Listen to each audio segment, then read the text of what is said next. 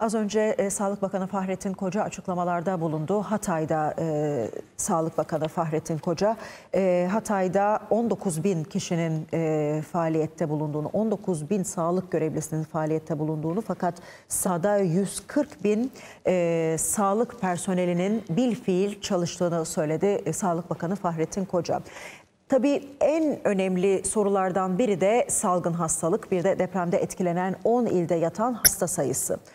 10 ilde yatan hasta sayımız 21.859. Sayın Koca'nın, Sağlık Bakanı'nın açıklamasına göre ve Bakan Koca diyor ki afet bölgesinde olası bulaşıcı hastalıklarla ilgili riskler erken uyarı sisteminin kurulmasıyla şu an kontrol altında.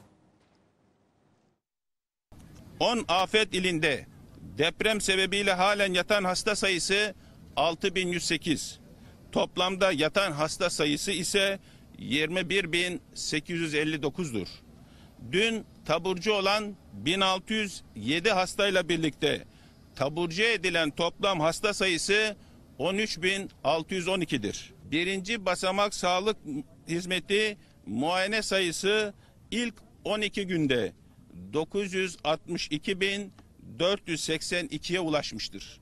Bugünü de tahminen ilave edersek en az 1 milyon muayene diyebiliriz. Bağırsak ve üst solunum yolu enfeksiyonlarında gözlenen bir artış olmakla birlikte şu an afete maruz kalan illerimizde ciddi bir halk sağlığı tehlikesi mevcut değildir.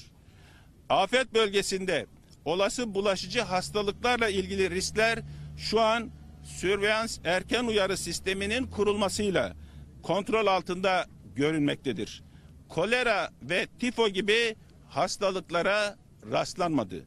Fakat 1-2 ay zarfında havaların ısınmasıyla ısınmaya başlayacak olması sebebiyle bölge halkı titizlik içinde bizler teyakkuz halinde olmalıyız.